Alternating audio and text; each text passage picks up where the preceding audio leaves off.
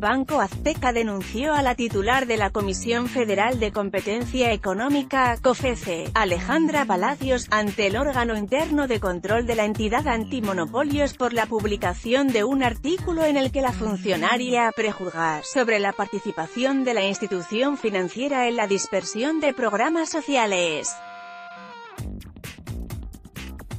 De acuerdo con la versión del banco propiedad de Ricardo Salinas Pliego, la funcionaria publicó el 24 de enero en un diario de circulación nacional dicho artículo que además fue difundido en las redes sociales de la comisionada presidenta.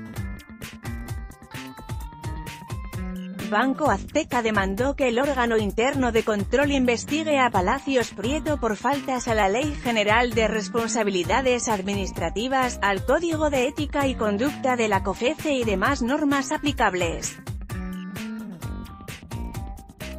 En dicho texto la funcionario prejuzga un potencial impacto permanente en la dinámica de competencia en el sector bancario, lo que, según Banco Azteca, viola las garantías de seguridad jurídica y debido proceso que consagra la Constitución.